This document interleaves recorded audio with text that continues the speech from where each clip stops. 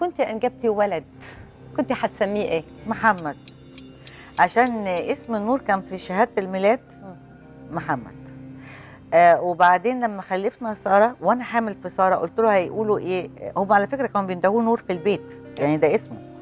ف آه فكان إيه؟ هيتكتب سار آه سارة محمد جابر محمد عبد الله.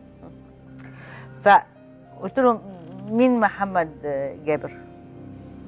فتقول لهم والله أنا اسم أبويا نور الشريف فقلت له لخبط فالمهم هو راح غير اسمه في شهادة الميلاد آه. واتعمل بقى نور الشريف جابر محمد عبد الله. بعد ما حصل أنا عملتها في الأول من منطلق إن أنا حامل في بيبي وعايزاه يتسمى باسمه اللي هو الناس عارفاه كلها. فبعد كده حسيت يعني بإحساس متضايقة إني شلت اسم محمد.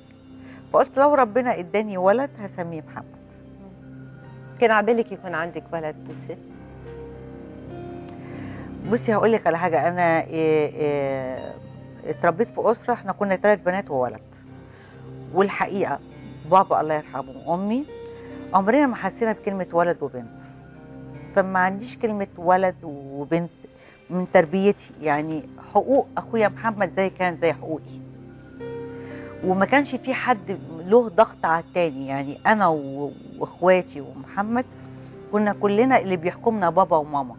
ما فيش حد ما كان في تفرقه بين ولد وبنت وما فيش حد راكب على نفس التاني بس إنه أكبر أو إنه عشان ده ولد ودي بنت لا خالص. فشخصيتنا اتكونت ما فيهاش نوع من عاملة كده للولد أو بتاع أو أنا عايز لا.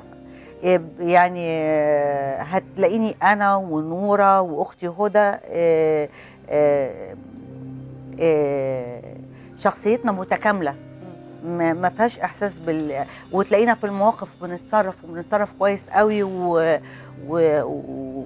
ومش آه، يعني مش مستنيين لنا راجل يقف لنا يعني. إحنا في شخصيتنا يعني. ست ب 100 راجل. هو بابي قالها على فكرة. شفتي؟ مذاكرة.